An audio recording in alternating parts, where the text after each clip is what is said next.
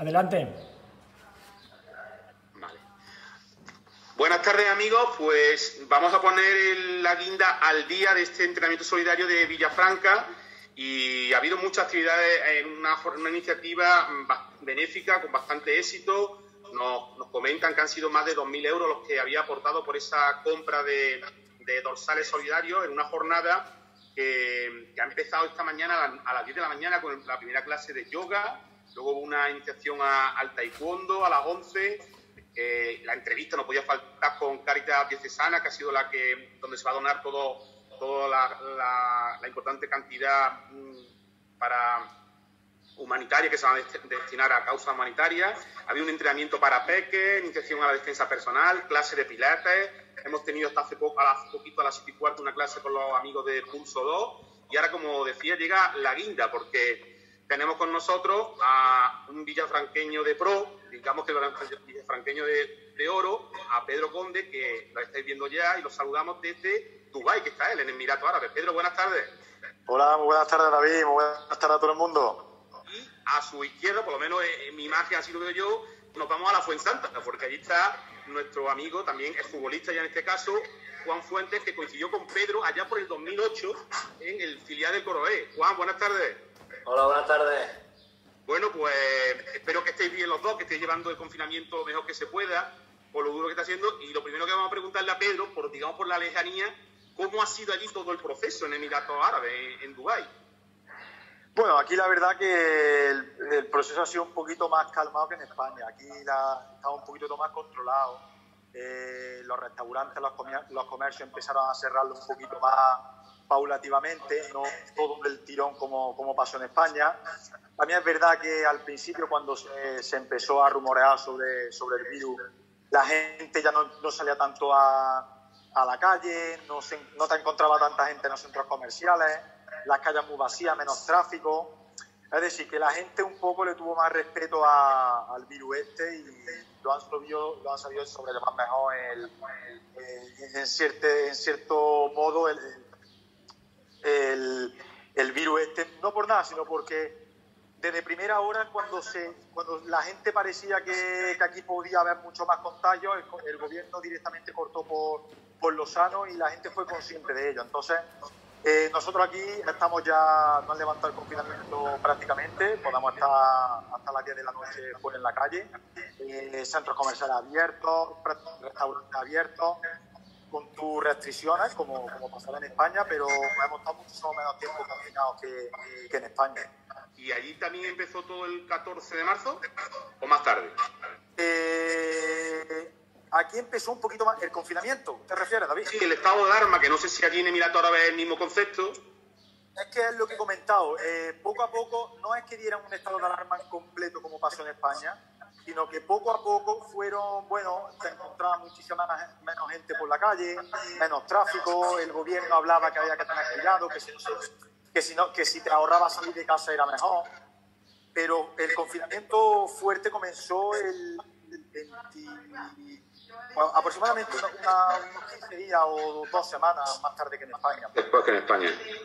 Pues aquí tu, tu colega Juan te puede contar el shock que sufrimos todos, ¿eh? Juan.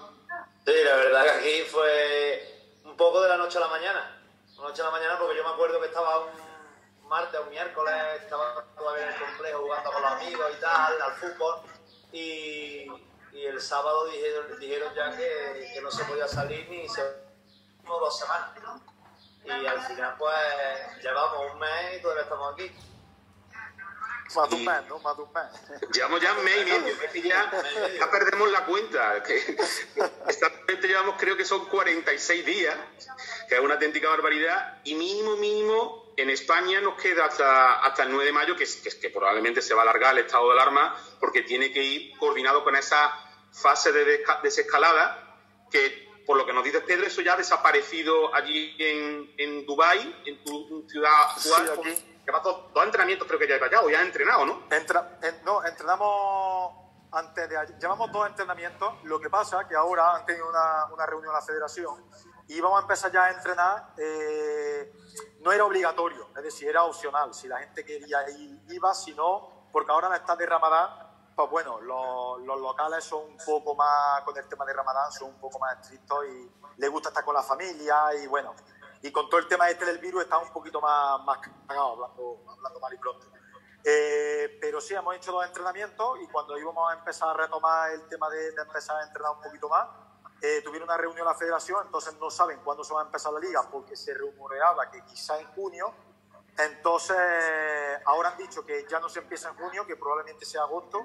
Por lo tanto, ahora hemos dejado otra vez de entrenar, cada uno entrenamos otra vez en nuestra casa o por nuestro cuenta.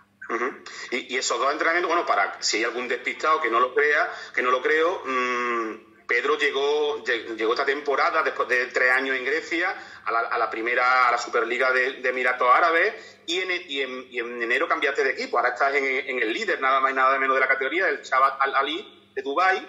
Y, lo, que, lo que me estabas diciendo, que sean, esos entrenamientos que has hecho, ¿han sido grupales o individualizados como, están, como van a empezar en España a partir del lunes? Eh, no, no, no, no. Nosotros nos mandaron un plan de entrenamiento, cada uno individual, para, para hacer en casa. Y luego estos dos entrenamientos que hemos hecho, eh, si nos presentábamos todo el equipo, íbamos todo el equipo a entrenar. El problema es que fuimos solo seis jugadores o cinco jugadores. Ajá, eh, era, opcional, eh, era opcional. Aunque ha habido un poco de miedo, creo yo, ¿no, Juan? yo creo que sí, yo creo que tenía un poco de miedo. Nos plantamos los más, los que llamamos más rajatabla el, el tema de entrenar y el tema de está bien. Hombre, yo sé que tú, Pedro, nos faltas seguro, vamos. Eso te digo nada más que claro. Yo sé que si tú hubieras estado aquí, Fuentes, tío, hubiera estado allí conmigo el primero, macho. Hombre, eso seguro. Pero que yo conociéndote, con los fatigas que haré entrenando, vamos, va, aunque, el virus esté, vamos. con mascarilla y todo fui, fíjate, y no broma, ¿eh? Hombre, os curtisteis los dos mm, eh, en una ciudad deportiva que como diría Javi Moreno, poco ha cambiado desde el 2008 al 2020, ¿no? Eso es verdad. Sí, la verdad que ha cambiado poco, ha cambiado poco. Yo que, estoy yendo ahora más a menudo, la verdad que yo, desde mi punto de vista, cuando he vuelto ahí, lo único que ha cambiado ha sido el césped de los campos. Porque por lo demás, las palmeras han crecido, el campo 3 que era de tierra ya está lleno de hierba y la verdad que ha cambiado poco. Sí, los tres campos de césped que se pusieron y y poco más, porque podemos contar un poquito de anécdotas de, de, aquella época, ¿no? Que parece que fue ayer, pero es que han pasado ya 12 años nada más y nada menos, ¿eh? 2008, los dos. Pedro. Es verdad, sí, sí, sí, sí, ha pasado, la verdad que ya ha llovido y ha hecho calor de, de, aquellos años. Pero vamos, que recuerdo aquellos años como si es verdad que han pasado 12 años más o menos y, recuerdo aquellos años como, como si fueran ayer, vamos. Y a fuente cada vez que... Dime, dime. No, que te va a decir que tú tienes tu espinita, que siempre lo dices, que cada vez que entrevistamos en Córdoba Deporte, que habías jugado en el primer equipo del Córdoba, no tuviste la suerte de, Juan, y, luego tu carrera ahí está, ¿eh? que te has curtido tú mismo. Jaén, Alcoyano, Melilla, eh, la cantera de Atlético Madrid, el Granada, y, el Mérida, que fue el que dio, creo que fue la catapulta, esos 17 goles que marcaste más de 30 partidos, los que te llevaron a, a Grecia, ¿no? Sí, fue, en realidad fue un año que en realidad también me marcó mucho y, quiero muchísimo a, todo, a toda la gente de Mérida y al club por, la forma de trato que me, que me hicieron. Y la verdad que me dieron esa oportunidad, me, dieron un trato que, que, que, no me habían dado en otro sitio, hablando claramente, y de ahí que, que despuntara y pudiera tener esa oportunidad de, de poder salir. Juan, ¿tú, ¿tú cómo llevas todo desde que el 16 de diciembre, creo, si no me falla la memoria, anunciaste que, que, tenías que dejar al fútbol como más te gusta a ti, jugándolo, aunque sigues vinculado a él porque no puedes vivir sin, sin él, ¿no? La rodilla no te lo permitió, ¿no? Pero ¿cómo lo llevas desde entonces? ¿Lo echas de menos? No sé. Hombre, la verdad es que lo echo de menos, no te voy a engañar. Date cuenta que yo toda mi vida, al igual que Pedro, hemos estado ligados al fútbol y de la noche a la mañana me ocurre la lesión, tengo que decidir unos meses después que no puedo continuar, pues imagínate, ¿no? La verdad es que el palo fue bastante grande. Pero también soy una persona positiva, soy una persona que, bueno, pensaba que, que, la vida no la puedo cambiar y que si me ha venido así, pues así la tengo que afrontar. Y tuve la oportunidad de seguir ligado al mundo del fútbol y, y así estoy, ¿no? La verdad es que estoy viendo partidos, como ya te dije, trabajando en la empresa y la verdad es que estoy súper contento y súper agradecido. La empresa, el nombre es lo de menos porque poca gente lo conocerá, ¿no? pero hay que decir que Juan, después de debutar con Lucas Alcaraz en el primer equipo del Córdoba, allá por el año 2009, jugó cuatro temporadas, más de 100 veces la camiseta blanca y se pegó el salto a primera, jugó en el Español, jugó en, Osasuna y, luego llegó esa desgraciada lesión de la que estamos hablando con el Nottingham Forest, además fue en, el debut en abril de 2018, pues después de todo aquello, muchas vicisitudes con la rodilla, pues montó su escuela, porque hay que decirlo, está la escuela de Juan Fuente en el Colegio Marista de Cervantes, y, ahora está vinculado al que fue su agente y más, bien hermano o familia, que es Quique de Lucas, delantero del español histórico, es con el que estamos viendo a chavales de la cantera cordobesista y, y se hace falta pues, de, todo, de medio mundo, ¿no? Porque lo que se trata es sacar a chavales porque tú sabes cómo se sale de ahí, ¿no? Sí, la verdad que yo soy sincero, ¿no? Yo siempre que a lo mejor hablo con algún chico, con su padre, yo soy sincero y al final llegar al fútbol profesional es muy difícil, muy difícil, al final no es fácil. ¿Por qué? Porque ya no son solo tus cualidades, ya que tus cualidades pues se adapten, no sé, por ejemplo hablo, de mi caso, yo era lateral izquierdo, el primer equipo del Córdoba firmó un lateral izquierdo, no sé si os acordáis, no le gustó por lo que sea, no encajó, yo me subieron a hacer la pretemporada, parece que les gusté también se tienen que alinear una serie de cosas, ¿no? Y que sobre todo a un entrenador en el que en ese momento esté en el primer equipo de, ese, de esa ciudad, pues que apueste por ti. Yo tuve la suerte de que Luca Alcaraz pues la pretemporada, la verdad, que la hice bastante bien, pero también es verdad que él ha puesto por mí. Si en esa circunstancia no llega, no llega a haber sido así, no, pues no, hubiese tenido la suerte de poder jugar en el primer equipo de Córdoba, o a lo mejor hubiese jugado más adelante, no, lo sé. Está claro que siempre se tiene que conjugar las dos situaciones, lo que tú demuestras y el entrenador que tiene que apostar por ti. En este caso a Pedro no le pasó eso en el Córdoba, que es lo que le hubiera gustado. Por ejemplo, por ejemplo. Y, yo no sé cómo tú, no sé cómo fue esa decisión de tener que irte de Córdoba la primera vez, Pedro, porque en el caso de Juan fue muy distinta. Todos recordaremos que quedó libre y lo fichó el español, nada más y nada menos. Pero la tuya, ¿cómo fue, Pedro? Tenés que decir, me tengo que buscar la bichuela en otro lado, ¿no? La mía fue regulera. La mía fue regulera porque encima también yo fui a. Yo, yo me iba a quedar en el Córdoba, yo no tenía ningún problema y al final el que. La persona que mal, mal eh, salió de ahí fui yo. Es decir, a mí se me criticó, toda la directiva que por acá entonces estaba allí se me criticó porque decía que, que, si yo era un pesetero y era totalmente incierto para, para lavar esa imagen, tío. Eh, yo me fui muy, como siempre he sido, me fui con la cabeza bien harta, me fui honrado porque yo, yo vamos, mi, mi, agente en ese momento me dijo unas condiciones de que yo iba a estar allí en ese equipo, que yo lo voy a decir, no tengo ningún problema, que era si yo no estaba en el primer equipo, tenía que ir salido a, tenía que salir salido a otro equipo. Eh, entonces esa cláusula la exigíamos en contrato y esa cláusula, en vez de poner esa cláusula, pusieron que si no jugaba en el primer equipo, yo jugaba con el filial. En ningún momento yo no me quedé por dinero ni por nada por los dos más.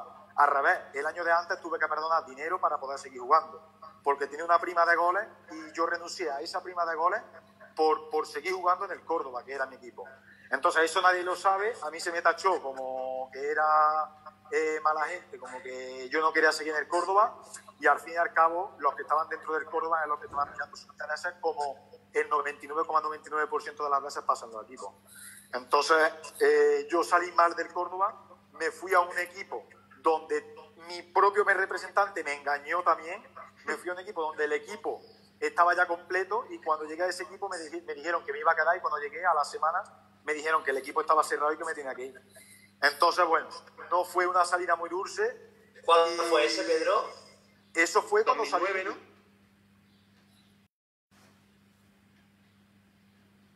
No, pero ¿qué, equipo fue el que cuando llegaste estaba? El Jaén, creo, ¿no? no, no, a la Osasuna. Ah, vale, sí. Me iba al filial de los Antes de Jaén pasaste por Osasuna, sí. Me fui a los, al filial de los Osasuna y llegué a Osasuna y ya, pues ya ves tú, yo tendría 20, 20 años, 20 años creo que tendría. 21, 21 para exacto. 21. Y era la primera vez que salía, llegué a Osasuna. Yo venía de Córdoba, estar allá al solecito, calorcito, cuando entré allá a Osasuna. Solo, ¿sabes? Yo me quería, me quería morir, ¿sabes? Hay que ver las casualidades de la vida, ¿eh? como, como los destinos se cruzan. Coincidiste en el Córdoba y los dos habéis pasado por Tajonar, por Osasuna, ¿no? De una manera diferente sí, sí, sí, estado, ¿eh? Y nada, y a los cuatro días me fui. Llegué cuatro días y a los cuatro días me fui, ¿sabes? Aunque tú no la has disfrutado entonces como Juan, pero Juan también puede hablar de agentes, porque aunque él esté intentando entrar en ese mundo, precisamente es por eso, porque ha pasado muchos malos momentos, ¿no? Porque muchas veces lo que se habla, ¿no? Que, que os tratan como mercancía, ¿no? Sí, la verdad que es complicado. Yo comprendo ahora que estoy, vamos, yo ya lo sabía, pero estoy en este mundo y la verdad que es bastante complicado, ¿no? Sabemos que el mundo de la representación hoy en día pues está al alcance de todo el mundo. Dos o tres personas pueden montar una sociedad y no te hace falta ni carnet, o te hace falta inscribirte en la federación y ya está. Yo creo que eso es una de las cosas que yo cambiaría, ¿no? Yo creo que una persona, aunque sea gente, creo que debería tener un mínimo de formación, bajo mi punto de vista. Y después hay de todo, ¿no? Yo creo que el mundo de la representación es muy difícil porque se mueven muchos intereses, cuesta muchas veces ser muy sincero, ¿me entiendes lo que te quiero decir? Y es verdad que es un mundo bastante complicado. Pero bueno, yo la verdad que, que tengo mis ideas claras. Yo con mi idea y mi manera de ser y cómo he sido toda mi vida, no me ha ido mal, ¿me entiendes? Yo lo que no, lo que no considero y lo que no creo que se deba hacer nunca es mentir a un jugador. ¿Por qué? Porque al final yo creo que desde, desde mi punto de vista de ahora, que estoy como agente, yo quiero lo mejor para el jugador, no lo mejor para mí. Y eso es lo que muchas veces no se ve por, por esto que mueve todo el mundo, que es el dinero, ¿no? Y yo creo que muchas veces el dinero nos hace mucho daño. Eh, Pedro, te, quería preguntar, pese a todo aquel mal sabor de boca que dijiste de la tu salida del Córdoba, tú siempre has querido volver al Córdoba y creo recordar que este, este mes de enero, que has pasado del Vanilla al Chabat al Lalí, también has tenido ofertas de España, ¿no? No sé si del Córdoba, creo que del Córdoba no, pero en otros veranos sí que lo has tenido, ¿no? Sí, sí, tuve, y estando en Grecia también me llegaron ofertas de, de, España. Eh, se pusieron varios clubes de, segunda división en contacto conmigo. Y bueno, al final, pues, en Grecia fue un poco complicado. No me hubiera, me hubiera ido, ¿sabes? Decir, también, también se puso conmigo en contacto el Córdoba cuando, cuando estaba en segunda división, eh, antes, de que, antes de que descendiera. Eh, pero claro, el problema es que yo tenía también varios años de contrato, tenía, había que pagar cláusulas, el equipo no, no, me dejaba, no me dejaba salir, entonces se, era difícil la salida, ¿sabes? Luego también estando aquí, eh, cuando firmé aquí también he tenido ofertas en enero de, de varios equipos de, de España, el, vamos, el último que me llamó, por ejemplo, fue el Málaga, pero claro, el problema es que yo tenía contrato con mi, con mi equipo, entonces el equipo siempre, aunque esté aquí el equipo y la gente piense que aquí hay mucho dinero y tal, aquí siempre eh, no deja de ser fútbol y si tú quieres salir y tienes contrato tienes que cumplir una, unas normas. Entonces es complicado, era complicado salir, salir libre. ¿Y cómo, oye, cómo es la vida allí en, Dubái, en, la situación actual y antes de, de, estado de alarma, digamos, por el coronavirus? Hombre, por eh, al, provocarse ahora el virus este es más complicado, es decir, más complicado en el sentido de que ven mucho menos movimiento por la calle, ahora en Ramadán menos todavía, eh, durante el día, eh, pero antes del virus y en, definitiva en situaciones normales, muy bien, la verdad que muy bien. tenemos unos conceptos, creo, creo, yo me incluyo también, que tenemos unos conceptos de que aquí, bueno, la vida es un poco un poco complicado, un poco difícil, pero yo creo que hay que hacerle ver a la gente que la gente se viene aquí de vacaciones a 10, 15 días, él está en hoteles, a visitar cosas, a ver cosas y quieren volver. Es decir, eh, tampoco se, se, vivirá muy mal. Con esto me quiero referir que tampoco se vivirá muy mal. Entonces, la vida, la verdad que nosotros estamos muy contentos. Está claro que Luego, el, el, tema de con la gente, pues bueno, todo el mundo sabemos que los árabes pues tienen su mentalidad, tienen su forma de ser, tienen su carácter, al igual que los españoles pues tenemos nuestra forma de ser. Pero lo que es el estilo de vida, lo que es el nivel de vida y la calidad de vida es muy bueno. Eh, Juan, eh, en este, hoy precisamente 1 de mayo, el mes por antonomasia de Córdoba, no sé por ahí por la barriada de la Fuensanta, Magdalena, si están sonando mucho las cruces, porque hay un movimiento en la ciudad increíble, ¿no? Sí, la verdad es que se están viviendo de otra perspectiva, digamos. Aquí por el barrio, la verdad es que en la plaza no hay, pero tengo bastantes amigos que han mandado vídeos en WhatsApp y eso, que han montado sus cruces de los balcones, pues ponen su música. Bueno, pues la verdad es que para matar el tiempo y pasárselo bien de una manera diferente no está mal. La verdad es que la situación es, extraña para todos, ¿no? Eh, para los propios periodistas a mí nos cuesta bastante porque porque el movimiento de información es diferente y ya no solo por, a nivel deportivo, sino por eso, eh, vivir una cruz de esta manera, yo por ejemplo, no la he vivido nunca. Y, ahora viene pues lo más grande, ¿no? Los patios, eh, la feria y el verano cordobés, que, vamos a ver cómo lo, cómo lo llevamos eh, en esta situación, porque claro, hablan de la nueva normalidad, vamos a ver cómo es esa nueva normalidad a partir de, finales de junio, que no creo que allí en, en, Arabia Saudí, pues, perdón, en Emiratos Árabes, Pedro, de eso por lo menos vaya. Pero claro, lo que yo no me, lo que no, me, no acabo de encajar es que vayáis a jugar fútbol en agosto allí. Madre mía. ya, yo ya he jugado en agosto porque el año pasado empezamos en agosto. Es verdad, cuando llegaste. Partidos de copa. El primer año cuando llegué a Vanillas también jugué en agosto. Y la verdad que, madre mía. Y este año está empezando, este año va a ser más calor que el año pasado porque el año pasado por este tiempo no hacía tanta calor. El año pasado por este tiempo más o menos estaba más o menos bien. 30 grados, 33 no estaba mal. El problema es que ahora, este año, por este tiempo, ahora mismo hemos estado hoy en la calle que tenemos que ir a comprar a 42, es decir, que está ya a 40, estamos viendo ya en una temperatura que cuando llega agosto, que julio y agosto son los meses de más calor, pues no sé, te puedes plantar a lo mejor en, no sé, en 48 grados y un 70% de humedad. Eso es lo que te iba a decir, que los grados, los grados en nuestra cuerda no nos no nos asustan a nadie, ni en Villafranca, ni en casi ningún municipio de la provincia. Pero la humedad sí, y me imagino que eso la habrá yo diferencia allí, ¿no? El año pasado recuerdo, recuerdo que mi hermano vino y, estaba aquí mi hermano y jugamos un partido y jugamos justamente en medio de Abu Dhabi. Entonces, si, si tú juegas un poquito como en la afuera, eh, hace como menos humedad, pues, además de todo el tráfico que hay en Abu Dhabi, eh, todo el movimiento de gente, como que se crea más, parece como que hay más humedad. Si juegan las afueras parece que hay como menos. Es solo sensación térmica, pero esa sensación térmica existe. Y, y vino mi hermano y estaba en la grada y, dice, hermano, he sudado más que si me hubiera ido a correr una maratón. Dice, de verdad te lo digo. Y estaba en la grada sentado y dijo, pues hermano, yo estaba jugando, ¿sabes? es normal, ¿no? Eh, iba a preguntar, Juan, eh, creo que son ya tres años, si no me, me, lo rectifica, o cuatro, de, de, la escuela que abriste en, el Colegio Marista, donde los dos hemos estudiado, por cierto. Eh, ¿Cómo va? ¿Cómo va la escuela Juan Fuentes? Bueno, la verdad que bien, la verdad que estamos contentos, la verdad que estamos de parón, está el complejo cerrado porque han cerrado los colegios, han cerrado todo, pero contentos, la verdad que todos los años se apuntan chicos, si no los que siguen de un año para otro, y la verdad que los chavales, pues bueno, intentamos que se lo pase lo mejor posible, que disfruten del fútbol y por lo menos que hagan actividad física, que yo creo que es importante hoy en día, ya sea fútbol o sea cualquier otra cosa, y sobre todo que disfruten y se lo pasen bien, que creo que es lo que hay que mirar en edades tempranas en el fútbol. Me imagino que ahora mismo habéis parado hasta Cine 10 o directamente habéis dicho que hasta el curso próximo, septiembre-octubre, ¿no? Sí, la verdad que ahora el complejo está parado, no sabemos si podremos reabrir ahora en, no sé, cuando a lo mejor se pueda jugar a padre o se pueda abrir cafetería un tanto por ciento, no sabemos cómo lo vamos a enfocar, pero sí está claro que la escuela hasta el curso que viene, porque el curso escolar ya se ha terminado prácticamente.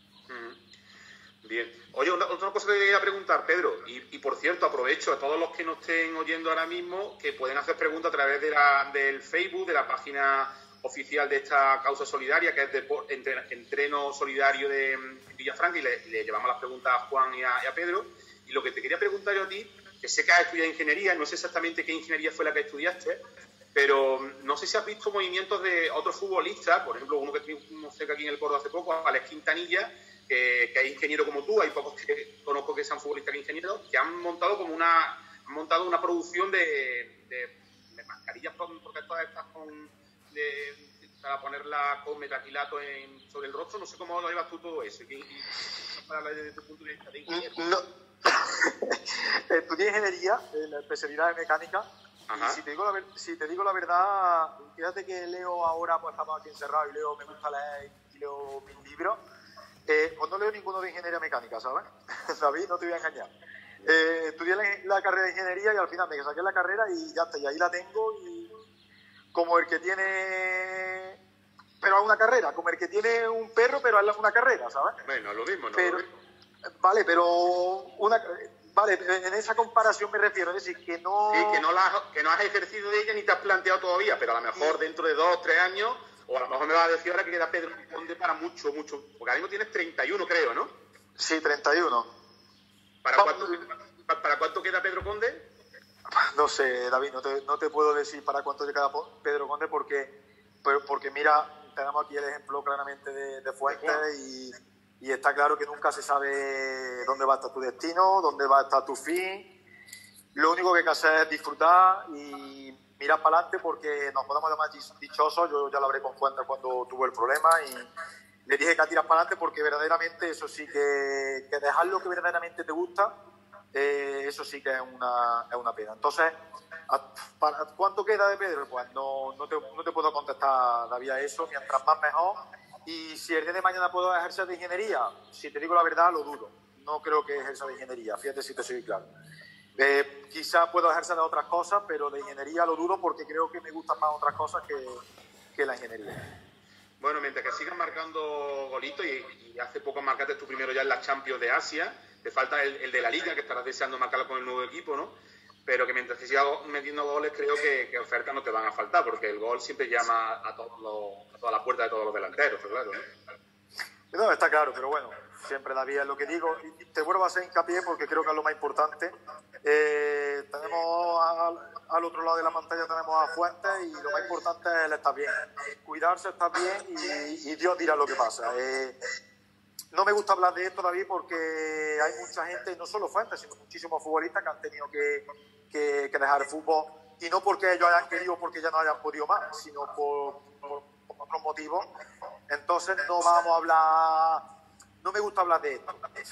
Eh, Dios dirá lo que pasa. Eh, el fútbol también lo ha hablado, lo ha dicho anteriormente Fuentes, que, que depende de muchos factores. Eh, nunca se sabe lo que puede pasar, por lo tanto vamos a vivir día a día, disfrutar de, de lo que tenemos, de la amistad que tenemos y de este momento que estamos haciendo ahora, que creo que es lo, más importante. Bueno, Juan, te toca. ¿Alguna anécdota con Pedro o del, o del mundo del fútbol? Esta vez que ha contado, pero que te gusta. Yo de Pedro lo que siempre recuerdo, no te voy a engañar, es que estaba siempre entrenando. Llegaba el primero, se entrenaba por la tarde, cuatro y media más cinco. Y llegaba a las cuatro y cuarto y ya estaba el tío en el gimnasio, David, increíble. Pero es que terminaba el entrenamiento y se me veía un ratito a mis abdominales, mis cosas, se ponía con los discos, eso de 20 kilos abdominales, pero era una bestia, David, te lo digo en serio, una bestia. Que, que por empeño no iba a faltar. Y fíjate, nos llega la primera pregunta de uno de los los primeros oyentes de la, de la entrevista, de, creo que de algo tiene que sonar, Pedro, es Manolo Conde y pregunta, ¿estás ahora más en forma con el confinamiento que cuando entrenabas? Hostia, pues dile, dile a mi primo, primo, pues no te voy a engañar, el otro día llegué a entrenar y me dijeron los, todo el cuerpo técnico, te me dice, pero si estás más fino. Y yo no sé, aquí en el confinamiento entrenaré, yo no sé por qué, no sé, los nervios a lo mejor de que empezar ya a jugar, dicen que me queda más fino, no, no, eso dicen. La verdad es que es otra de las grandes cuestiones que se está hablando mucho a, nivel general. Juan, que tú cara lo llevas de otra manera, que entrenas, digamos, porque tú lo necesitas físicamente. Todos los deportistas, eh, incluso cuando os retiráis, lo necesitáis, al margen de, nuestro amigo Ronaldo, cómo se ha puesto y demás. Pero bueno, eh, lo, que, lo, que, quiero preguntar es que eh, la, la, situación que estáis viviendo todos los futbolistas profesionales, bueno, futbolistas, jugadores de baloncesto, balonmano, tenistas, es un poco peculiar porque nunca una pretemporada, eh, cuando acaba la liga en junio, eh, está más de mes y medio parado. suele estar un mes, un mes y una semana, a lo mejor puede estar un mes, pero es que llevamos camino de los dos meses. Eso a los, organismos, a los cuerpos, tiene que afectar de una manera diferente. Digo yo, a la hora de volver, ¿no? Yo creo que afecta, yo creo que afecta porque yo creo, yo por mi experiencia, ¿eh? yo he estado en equipo y es verdad que hay años que he jugado más, he jugado menos. Yo cuando no jugaba o, no iba convocado, me tiraba una racha mala en un equipo, yo soy de los que piensa que tú puedes entrenar fuerte para estar en forma, pero que al final, a mí personalmente, el ritmo de competición... El llamado ritmo de competición. Te lo da los partidos. Claro. Eso pienso yo. Y el tema es que quizás Pedro ahora está ahí eh, haciendo un exceso de preparación física que nunca lo habéis hecho, que es a base de cinta, que no sé si la tendrás ahí en casa, bicicleta, pesa o algo que pueda suplir eso. Y eso lo hacéis normalmente en, las semanas de partido, pero no al nivel de intensidad de ahora, ¿no?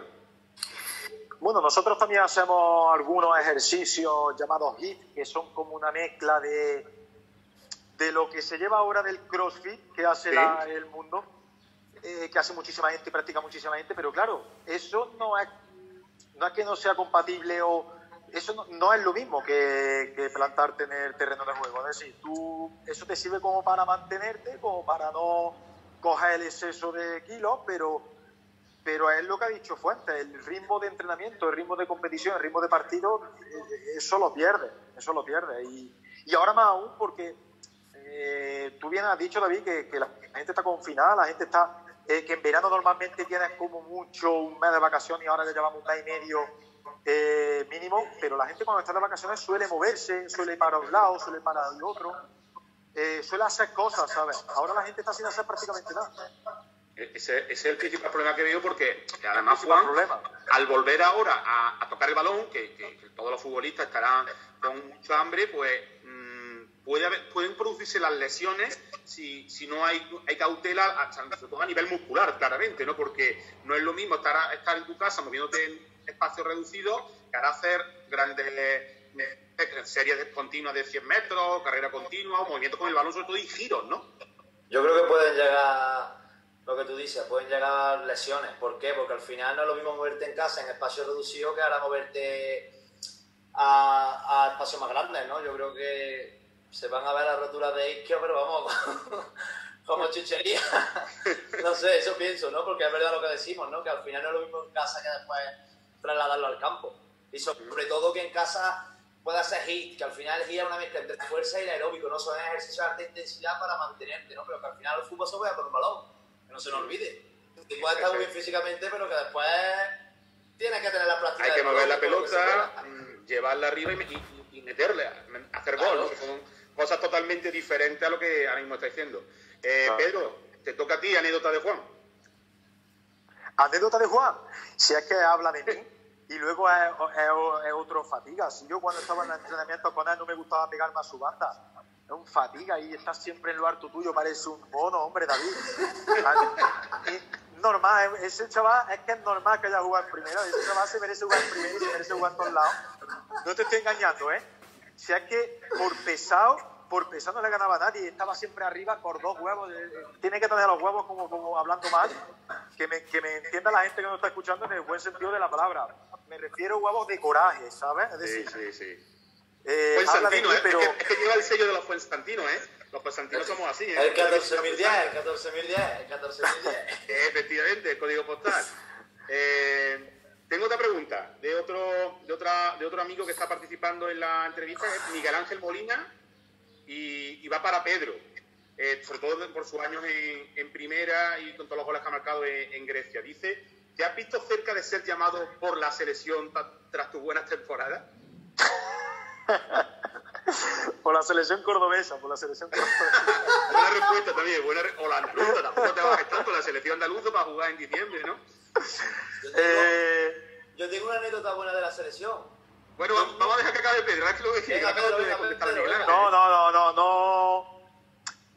Hubo un malentendido ahí, hubo un malentendido ahí. La verdad que, bueno, eh, yo decía que sí, pero al final yo decía que no. Decía, ellos me llamaron, pero al final hubo un entendido de que no, no hubo. ¿Y Juan? Que yo digo que yo tengo una anécdota de la selección cordobesa. No he ido nunca en las categorías inferiores ni a un entrenamiento. Muy bueno, claro, que primera. Claro. ¿Qué? Que digamos que es la, la, la muestra al revés, que todo el mundo piensa cuando destaca para las selecciones de tu provincia, luego la de la Eso pasa mucho, eso pasa mucho en el fútbol base sobre todo, ¿no? La gente a lo mejor ve las selecciones cordobesas como algo que ya la selección... Yo nunca he ido a la cordobesa y sin embargo voy a la andaluza. Una cosa rara, pero es verdad que me pasó. Andaluza y luego llegaste a, a Mario, como dice, como dice Pedro, por empeño. Y, bueno, ya, yo te voy a dar un poquillo un zasquilla de eso que se dan, que es que los, defensas, y si la técnica no está sobrada, tiene que ser por huevo, por insistencia. Entonces, cada uno sabe sus limitaciones, que en, realidad es una virtud, y tú las supliste con eso. Para mí, la virtud más importante es saber lo que, lo que puede hacer en el campo. O sea, listo. Hombre, y lo que te pide tu entrenador también. Yo me acuerdo que yo, al principio, pues bueno, la diferencia de juego entre Lucas Alcaraz y Paco Gémez, había diferencia, ¿no? Con Paco Gémez llegué y cuando subía dos veces me decía, o subes más o no juegas Así de claro. Paco me acuerdo que era lo más sensato del mundo, porque te decía las cosas súper claras. Mira, fue Era y es, era y es. Y es, tanto Siempre lo dice todo claro, porque ah, no sé si lo había escuchado en la última semana, hablando de que, es esto de que los futbolistas vamos a tener test. Primero tienen que tener los sanitarios. ¿Cómo nos van a hacer a nosotros futbolistas? ¿Estamos locos o qué? Y, más claro no he podido hablar, ¿no? Y bueno, también, también tuviste a Verges, que ¿no? Porque con Verges fue el partido de Copa del Rey con el Barça, ¿no? Que fue el... ¿Quién te iba a decir entonces que luego iba a jugar con ellos más asiduamente, ¿no? Contra ellos, ¿no? La verdad que sí. ese año tuve a Verges y a, y a Snyder. Y a Snyder, vaya, vaya. Vaya dos jugadores. Eh, tenemos más preguntas de, los condes que abundan en Villafranca, está claro. Andrés Conde, eh, hablando de entrenadores que estábamos, ¿cuál es el entrenador que te ha marcado a ti, Pedro? Ya que Juan ha hablado de lo suyo. ¿Qué, ¿Qué entrenador me ha marcado a mí? El que te ha marcado en tu trayectoria, tanto en lo negativo como en lo positivo, la deja abierto. Eso ya te lo pregunto yo. Buah. Pues. En lo negativo no te voy a engañar. En lo negativo, cuando venía de hacer una gran temporada en Granada B, eh, y yo me voy a mojar. Eh, yo venía de hacer una gran temporada, porque me la ha hecho la pregunta de mi primo, lo que decir, no tengo.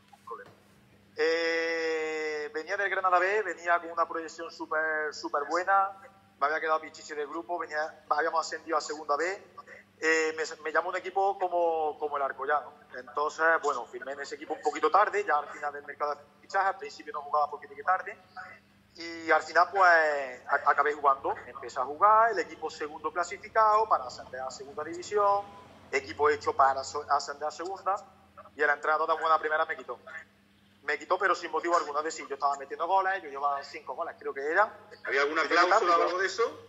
No, no sé, no sé, no sé, no sé, pero me quitó y, y, de ahí, que fue cuando al año siguiente me, me, fui a Melilla, también fue un año horrible, y yo creo que psicológicamente ahí estaba, pero hundido psicológicamente. De hecho, ahí estuve a punto de dejar el fútbol. Has nombrado al verdugo, pero no dice el nombre, ¿no? No voy el nombre, por supuesto, fue el entrenador del Arco Llano y pero vamos, que no tengo ningún problema, que yo soy, que yo el, año que terminé ahí en Arcoy, yo también soy un hombre que dice las cosas muy claras, a quien le guste bien y a quien no, pues lo siento mucho. Eh, al terminar el último partido de hoy, me tocó a mí a rueda de prensa y me preguntaron que había sido un fracaso porque no nos habíamos metido en playoff, porque tal. Y yo le dije, pues no sé, preguntarle al entrenador porque yo la última vez que estaba jugando íbamos segundo. Esta fue la temporada 2013-2014 que jugaste 32 partidos, estoy viendo, metiste 4 32 partidos, de los, de los cuales jugué, yo llegué 5 partidos tarde, creo que fueron 4 partidos tarde, porque era ah, a principios de agosto. O sea, que lo jugaste todo, como quien dice, ¿no? No, pero jugué la primera vuelta. Esos 30 partidos jugué de, titular, a lo mejor jugaría. 14.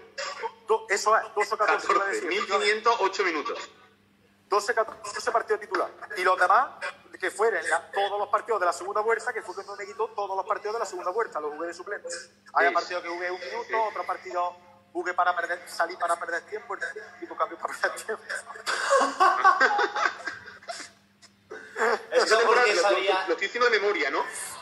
Nah, yo salí, ¿Esa temporada coincides con Javi, Javi Lara en Alcoyano o Javi Lara llegó antes? No, él, llegó antes y luego se fue. Él llegó antes y luego se fue. Esa temporada fue la típica que yo en la segunda parte salía y conforme salía le daba la mano al árbitro y ya me iba para el vestuario. para terminar, terminar el partido ahí ya, me cambiaba la camiseta con los. para que no quede solo malo, de entrenador bueno, que te haya dicho, ah, este entrenador es el que me ha hecho crecer o, o da gusto pues entrenar con él. Pues mira, por ponerte un ejemplo, hay otra cara que es cuando estuve en Grecia. El entrenador, cuando, yo llegué a Grecia, tanto el primer año como el segundo fue el mismo entrenador. Y el primer año me puteó también al mando a poder. Y sin embargo, el segundo año eh, me trataba, vamos, de hecho, la salida luego me ayudó a salir. Me reuní con él, Pedro, para ver si se la que es por tu bien. Yo hablo con el club, no tengo ningún problema en que traiga a otro futbolista, es por tu vida, es buena opción para que tú salgas, tal eh, fue un entrenador que, que, por suerte al principio me puteó un poco, pero luego la verdad que se portó bien. eh, Juan, yo creo que por lo que has dicho, pues entre los, entre los que más te ha gustado, dos cordobeses, Paco y Verge. Yo creo que sé uno que no te gustó tanto, pero bueno, te voy a dejar a ti, si quieres decirlo o no, alguna anécdota, como ha dicho Pedro, de entrenadores que no te hayan gustado en tu trayectoria. Y muchas veces da la casualidad que solo el, el, público en general lo desconoce, que a lo mejor los que más llegan al aficionado, porque son más salameros, tienen más labio en sala de prensa, luego son los peores entrenadores. Muchas veces pasa, ¿no? Pues sí, la verdad. Bueno, yo también es verdad que no me rijo por, Vamos, tampoco me gusta dar nombres porque no... Ya, está claro. No lo veo lógico, pero tampoco me, me rijo yo esto porque a lo mejor muchas veces juego o no juegue, ¿no? Yo también soy consciente de que hay años que estado jugando y a lo mejor digo, macho, es que este entrenador lo ha dado por mí, porque el partido que hizo el otro día es que fue horroroso y me sigue poniendo el hombre, pues confiar en mí.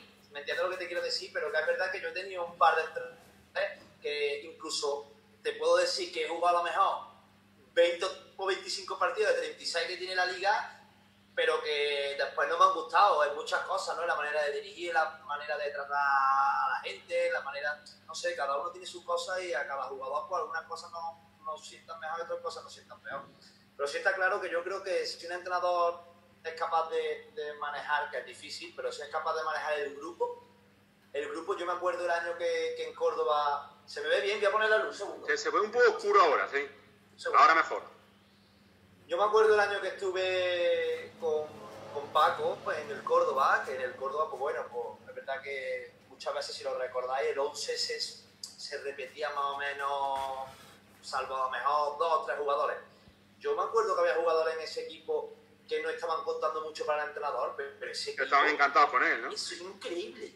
David, o sea, ese año me acuerdo, yo me acuerdo del delantero Sebastián Balsa, no se me va a Que no olvidar jugó nada, nada. Ya, jugó, pero muy poco. Y el chaval, el primero, ayudando, animando a los compañeros. De verdad, y muchas veces esos trabajos. Además recuerdo yo la despedida del chaval.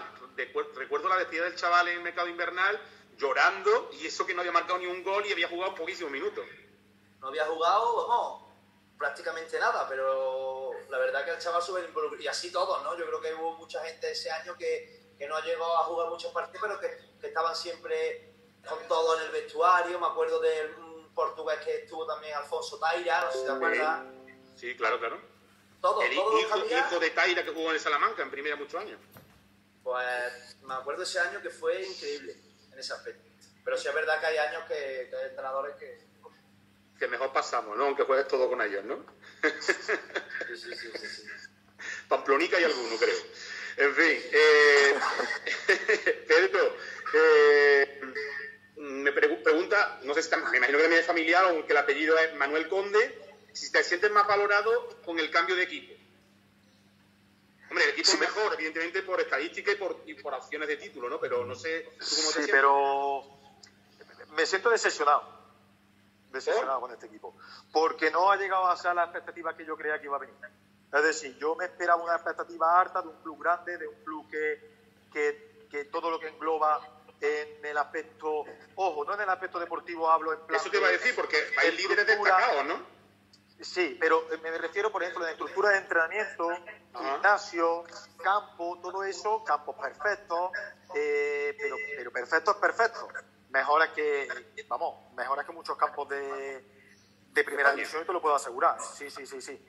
Campo de entrenamiento perfecto, eh, gimnasio, unas instalaciones increíbles, pero luego lo que viene siendo estructura de club de mm, ayudar externamente al jugador, Sí. No es que esté muy cómodo, no te voy a engañar. No te voy a engañar, David. Eh, en el otro equipo me sentía más, ayudaban más al jugador, estaba más con el jugador, si necesitaba algo, entendían que estaba fuera de tu casa, que estaba. Este club es un poco más. En ese aspecto no, no es tan bueno. Y luego son muy ratillas, hablando mal. Hablando claro, vamos. Hablando claro, vamos, sí, hablando mal y hablando claro. Y entonces en ese aspecto. Que lo- tanto el que estás diciendo tú como el que ha hablado Juan, que nosotros como periodistas lo, conocemos, ¿no? Lo vemos de primera mano, porque vosotros no lo decís. Y muchas veces el aficionado se preocupa más del tema deportivo, pero vosotros siempre valoráis, yo, yo me he dado cuenta ya en la trayectoria esta que llevo ya en el mundo del periodismo, más de 20 años, que valoráis eso, que, lo- que los entrenadores sepan llevar, manejar entrenamientos y que luego el club funcione fuera de, no, no lo que se ve en el día a día del entrenamiento No, eh, y el partido, ¿no? Eh, es que es muy difícil, es muy fácil, por ejemplo, yo expresarte como soy y luego realmente por dentro no soy así. ¿Entiendes lo que quiero decir, David? Es decir, Sí. si yo te, pues lo mismo pasa con el club, de, de puertas para afuera, muy bonito todo, sí, muy bonito, pero luego dentro del club, eh, claro, la gente luego eh, mira a los jugadores, no, es que no ha jugado bien, no, pero claro, es que hay muchísimas más cosas detrás de todo eso, un jugador tiene que estar psicológicamente bien, un jugador tiene que estar a gusto, un jugador tiene que estar eh, cómodo en un sitio, es decir, si tú estás cómodo, estás a gusto y estás psicológicamente bien, los resultados van a llegar. Ujú. El problema es que si tú psicológicamente bien, no estás bien, no psicológicamente en ese aspecto, sino Perdón, que se me ha puesto el Sí, móvil no, ya está, ya está, ya ha vuelto. Eh, si tú no estás a gusto en el club, es, es complicado que los resultados. El fútbol es un estado de ánimo y, y lo digo ahora y lo, lo he, lo he dicho anteriormente y lo diré toda mi vida. Si tú anímicamente estás bien, eh, los resultados van a llegar. Si anímicamente no estás bien, eh, los resultados no van a llegar. Está claro que la, cabeza lo mueve todo y, ahora mismo, en el estado que estamos de confinamiento, volviendo un poco a la realidad cruda en la que estamos, eh, eh, yo he observado, todos nos preguntamos en general cuando hablamos con amigos o con gente que tenemos en contacto, ¿cómo estás tú y tu familia? ¿Cómo estáis todos? Y casi todo el mundo, la mayoría, ¿no? crucemos los dedos, ¿no? Suelen decir bien, porque están bien físicamente, pero hay muchos, y, me, me incluyo primero, que no estamos bien mentalmente por la situación en la que está viviendo ahora, ¿no? En, en este estado de alarma. Imagínate en el día a día, como tú estabas explicando, tanto tú como Juan, ¿no? Claro, claro. Porque la cabeza es lo que, la que lo mueve todo. Llega una preguntita para Juan, hablando de, de él, eh, Miguel Ángel Molina. Dice que si notaste mucho el cambio del salto del Córdoba en segunda ahí al español directamente a primera, a los pericos. La verdad que. A salir de la Fuensanta y te lleva a Ciudad Condal, ¿no? Pero me hablas del aspecto del juego, ¿no? Sí, claro, él habla- hablan del juego, me imagino, pero vamos, que tú puedes opinar del juego, de la ciudad, de todo, ¿eh?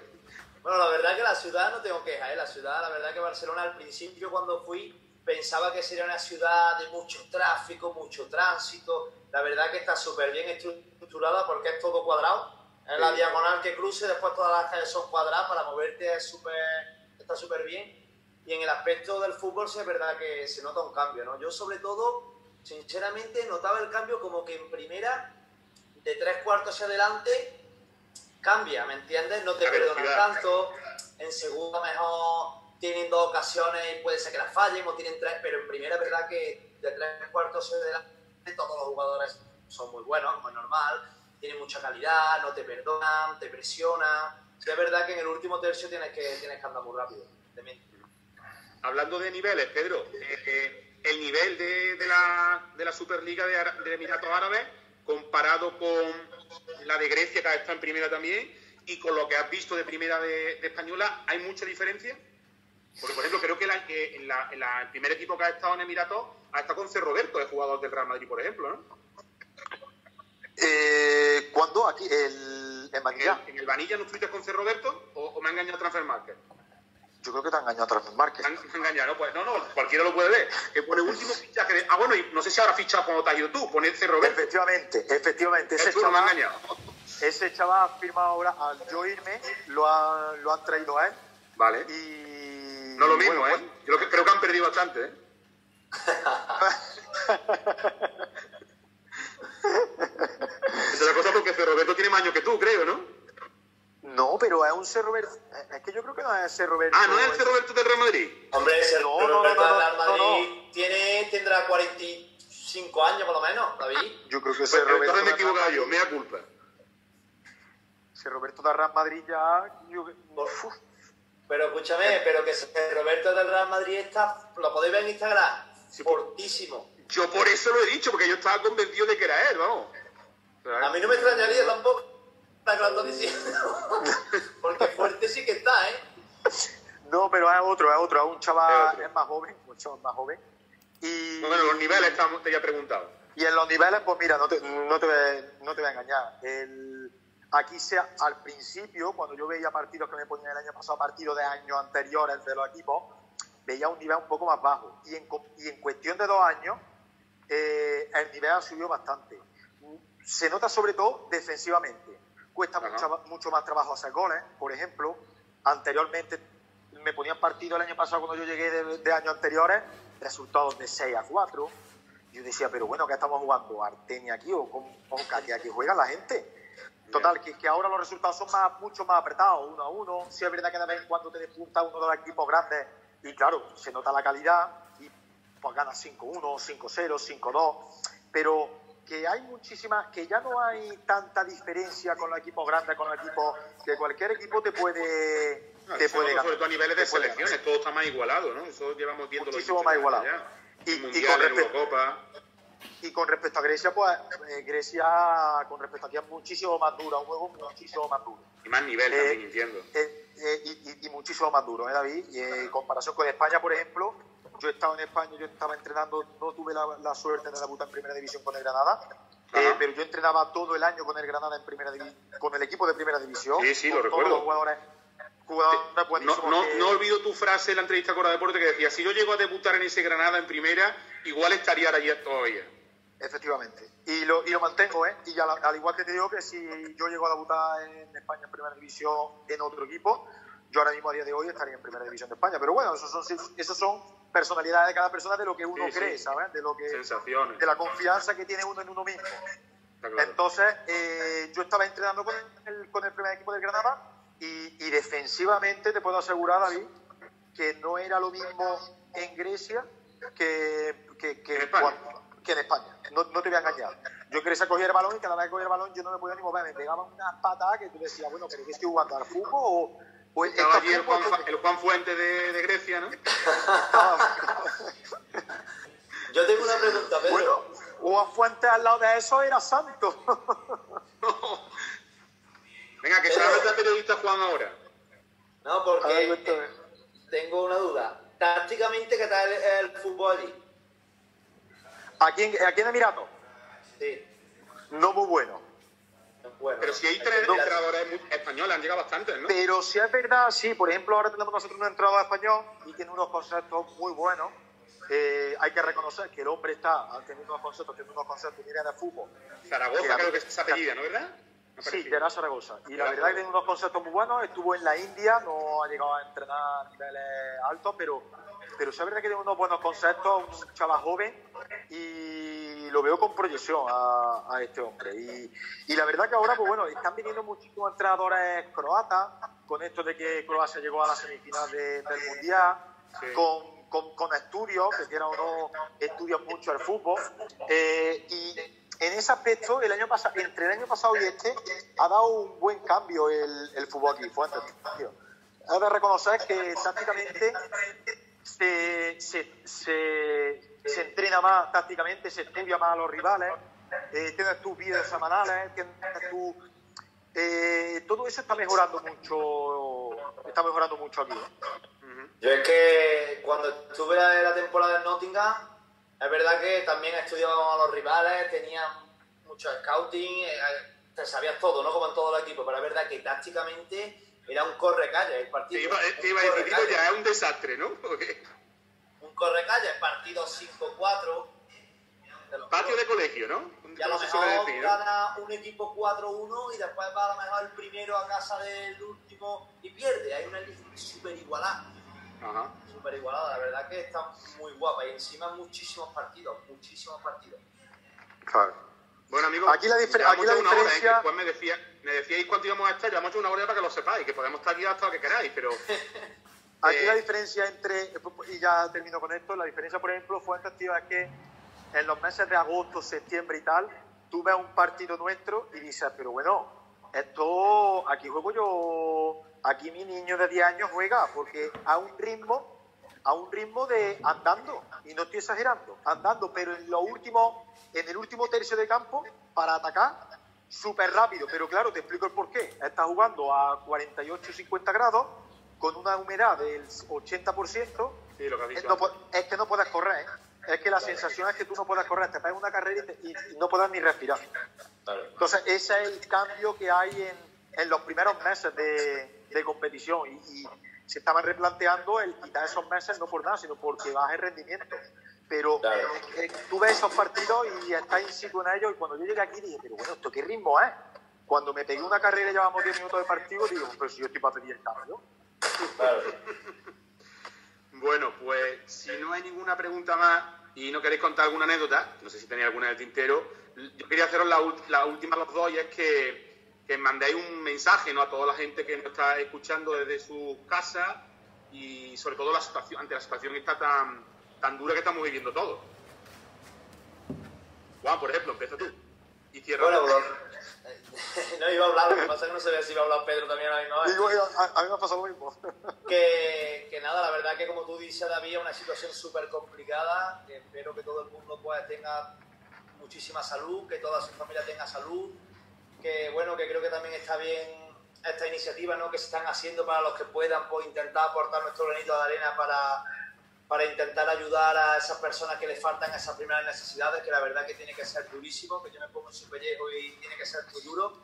Y nada, sobre todo mandar mucho ánimo, que la gente se cuide mucho, que respetemos un poquito la situación y que esperemos que pronto salgamos adelante de esta. Muy bien. Pedro. Y yo nada, aportar algo más a lo que ha dicho Juan, que ya está perfecto, pues aportar que la gente, sobre todo paciencia, la palabra paciencia que es muy importante, que tenga paciencia, que intente eh, buscar, no sé, entretenimiento en su casa, en lo que le quede en algo para, para no perder la cabeza, aunque sea un poco en plan cachondeo, pero no es cachondeo. No, no, lo dije yo antes, eh, es muy importante en este momento tomarse un poco más a cachondeo esto por no centrarse en lo que viene siendo más serio, ¿sabes? Mm. Eh, y, sobre todo, pues bueno, eh, estar orgulloso de, yo ahora mismo orgulloso de estar participando en esta iniciativa que, que, ha creado Agustín con el, con el tema para ayudar a toda esta gente de Caritas. Eh, espero sobre todo también que toda toda la gente que, ha podido estar entrenando, todo, toda la gente de Villafranca y los que no sean de Villafranca, que se han podido conectar a lo largo del día para, para bueno, para, por el motivo por, el que lo ha hecho Agustín, que espero que hayan disfrutado, que hayan pasado un buen día, que se le haya hecho un día más ameno y que, bueno, mandarle saludos desde, desde aquí de Uruguay y un beso muy grande para, para toda aquella gente, para toda esa gente. Pues yo agradeceros a los dos vuestra colaboración y antes de, finalizar la conexión voy a yo a decir los dos números de cuenta que hay como fila cero, a que muchos ciudadanos, no solo de Villafranca, sino de toda Córdoba, pues han colaborado aportando su donativo para Caritas, porque todavía están a tiempo, no hace falta solo entrenar. Si se quiere aportar a esa fila cero, los números de cuenta son uno de la Caixa, que es 35 2100 5463 71 01 002 69 63 8 y el de Caja Sur es, es 32 0237 0064 00 91 57 955 42. De todas maneras, por si lo he dicho muy rápido y no se ha podido coger, en la, en la página web Entrenamiento Solidario Villafranca lo pueden encontrar y hacer una aportación para que esa bolsa, que ya ha superado los 2.000 euros, según me cuentan, pues vaya más y que vaya para una causa de, para las personas que más lo necesitan en estos, en estos momentos. Bueno, lo dicho, a los dos, muchísimas gracias por echar este rato, que nos viene bien a todos, y, a cuidaros, y a meter muchos goles en Arabia Saudí, y Juan a, a, curtir a esos chavales jóvenes que muchas veces salen despistados, que si los padres o madres, para que sepan que el fútbol es importante, pero que no es lo único que hay en la vida. Muy bien, muchas gracias a ti, David. Gracias a los dos. Venga, muchísimas gracias. Venga, un abrazo, buenas noches. Adiós. Chao.